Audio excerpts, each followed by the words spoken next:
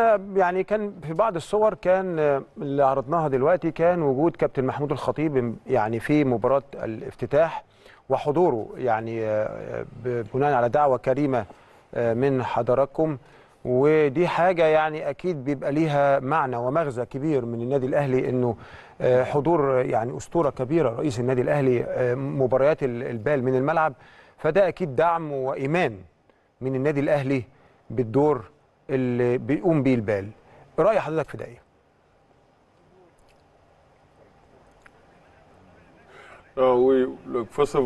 في البداية لدينا آه، بالغ الاحترام للكابتن محمود الخطيب أن يشاهد هو أعظم لاعب كرة قدم في تاريخ إفريقيا.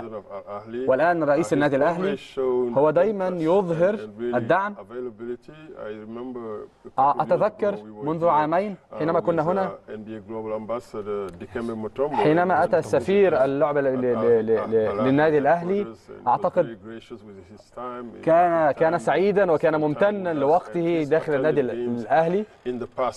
وأيضا حضر حضر المباريات هنا. نحن نحن نقدر الدعم الجماهيري أيضا الذي تعطونه والذي والذي يوفره النادي للجماهير.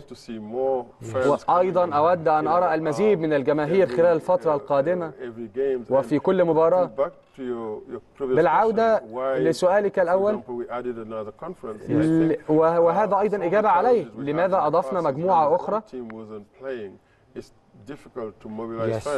والأمر من الصعب انتقال الجماهير إلى كل دولة في إفريقيا. فبالتالي يجب علينا يجب علينا أن أن نوجد مباريات في هذه البلاد لنوجد فرصة لهؤلاء الجماهير لحضور المباريات